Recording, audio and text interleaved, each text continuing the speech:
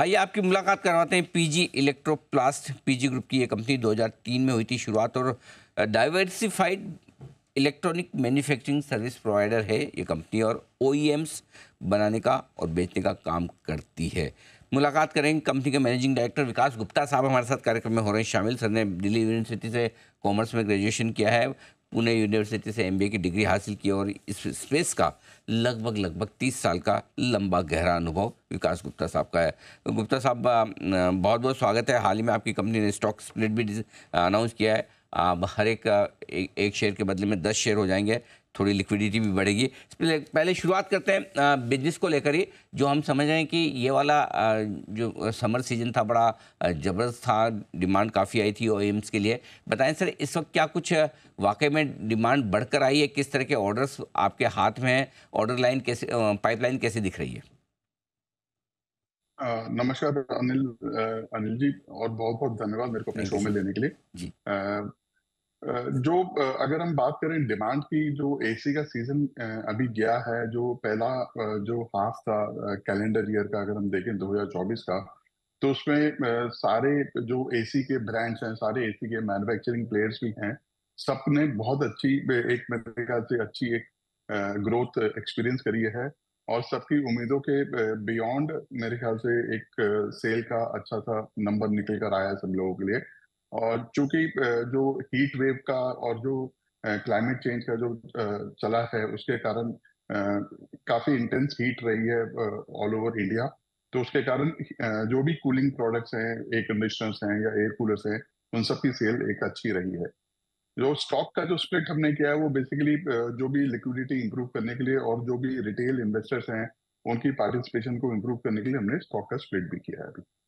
बिल्कुल तो ठीक बात है। थोड़ा इससे रिटेल पार्टिसिपेशन भी बढ़ेगा और लिक्विडिटी भी आपके काउंटर में बनेगी ही। और आपने कहा कि डिमांड काफ़ी मज़बूत है। ये डिमांड सिर्फ़ समर सीज़न के लिहाज से मज़बूत है या फिर आने वाले फेस्टिव सीज़न में भी आप पिछले साल के मुकाबले में बेहतर डिमांड आते हुए देख रहे हैं?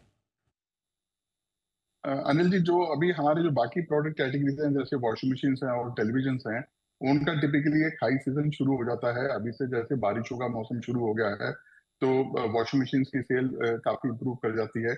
और उसके लिए हमारे पास एक अच्छी स्ट्रॉन्ग ऑर्डर बुक दिख रही है हमारे पास वॉशिंग मशीन में और टेलीविज़न में। तो हमारे को उम्मीद है कि हम एक अच्छी सेल्स की ग्रोथ अचीव कर पाएँगे आने वाले समय में भी।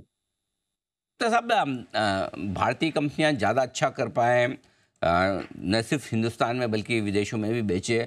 क्या चाहते हैं आप इस बजट से? क्या कुछ ऐसा किया जाए कि आपकी कंपनी को, आपकी इंडस्ट्री को फ़ायदा पहुँचे?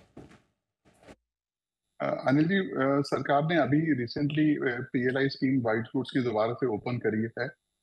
वो बहुत एक अच्छा स्टेप है जिसमें हम लोग दोबारा से वाइट फ्रूट्स की पीएलआई में पार्टिसिपेट करेंगे और हमारे एसी बिज़नेस को फर्दर सपोर्ट करेगा। हाँ डेफिनेटली लोकल मैन्युफैक्चरिंग को सपोर्ट करने के लिए भारत सरकार को देखना है कि जहाँ जहाँ पे भी इन्वर्टी ड्यूटी स्ट्रक्चर्स हैं, जहाँ पे हम लोग इस एनॉमली को करेक्ट कर सके इन्वर्टी ड्यूटी स्ट्रक्चर की जहाँ पे कि फिनिश रूट्स पे ड्यूटी कम है और कॉम्पोनेंट्स पे ड्यूटी ज़्यादा है, उस चीज़ को अगर हम लोग रिमूव करेंगे इस एनामली को तो फर्दर लोकल मैन्युफैक्चरिंग को सपोर्ट मिलेगा। तो बिल्कुल ठीक बात है। तो लोकल मैन्युफैक्चरिंग को सपोर्ट मिले, इसके लिए प्रयास करने की और ज़्यादा ज़रूरत है। पूरे साल भर के लिहाज से सर गाइडेंस है आप किस तरह की परफॉर्मेंस की उम्मीद कर रहे हैं? पीजी इलेक्ट्रोप्लास साल दर साल कितनी ग्रोथ दिखा सकती है? अनिल जी, हमने चौंतीस सौ करोड़, तीन या चार सौ करोड़ की ऑलरेडी सेल्स की गाइडेंस दे रखी है एफ़ आई ट्वेंटी फाइव के लिए। और अभी हम लोग उसी को मेंटेन करेंगे। और टेलीविज़न का बिज़नेस जो हमने एक जॉइंट वेंचर में ऑलरेडी मूव आउट कर दिया है, उसमें हम लोग 600 करोड़ की रेवेन्यू की गाइडेंस दे रखी है। तो ओवरऑल अगर हम देखें तो चार हज़ार करोड़ के करीब का ग्रुप का रेवेन्यू आना चाहिए सर परफेक्ट तो चौंतीस सौ करोड़ के आसपास की सेल्स सत्ताईस सौ पचास करोड़ की सेल्स रही थी वित्त वर्ष 2024 में।